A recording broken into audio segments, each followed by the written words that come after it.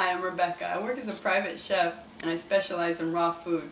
But today I'm working for you. What we're going to do today is make strawberry shortcake. 100% vegan, 100% raw. So what I'm going to do first is I'm going to put some raw cashews into the Vitamix, about a cup full, that I soaked for about an hour. I'm going to put the juice of two lemons. So I'm just going to squeeze it in here in the Vitamix. And after that, I'm going to add a little sweetener. Now, everybody has their own preferences, so you can use whatever you like. If you prefer not to use agave, then you can use dates, stevia, raisins, whatever. Um, also honey. Right now, I'm going to use some high-quality agave. So, I'm just going to make this into a nice whipped cream consistency.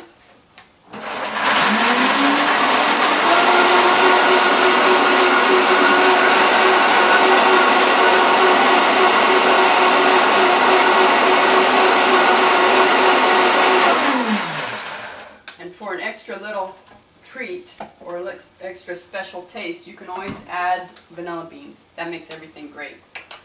So what I'm going to do, it's a little thin, so I'm going to add some more soaked cashews. I like mine a little thicker.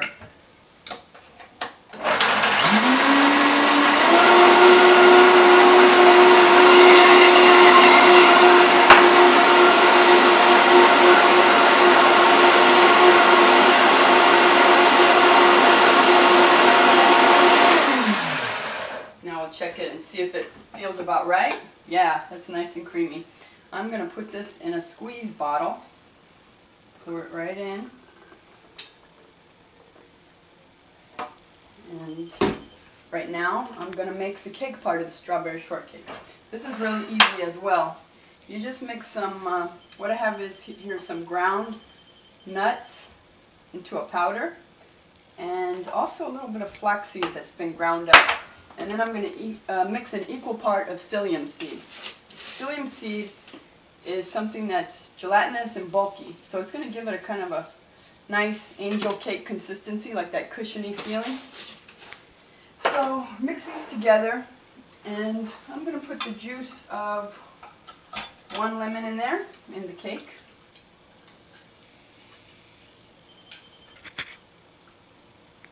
Actually, you know what I can do?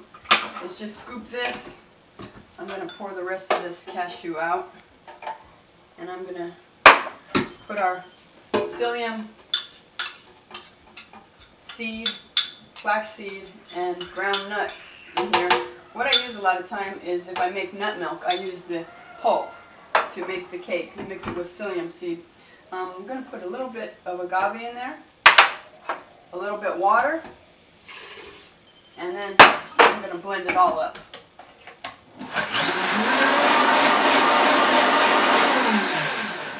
And this is the cake. And to get a cake um, shape to it, I use a little tiny dish, whatever shape you want to use. Usually I use something round and pour it in and let it set for about um, 5 to 10 minutes. So if you have equal part of ground nut or um, pumpkin, pumpkin pulp or almond pulp or whatever nuts you're using, you mix that equally with psyllium seed, and then when it gets hard, like this one, then you scoop it out. What I usually do is get a butter knife and kind of go along the edge to loosen it up. And once it's loose, there you have the raw vegan equivalent of a sponge cake.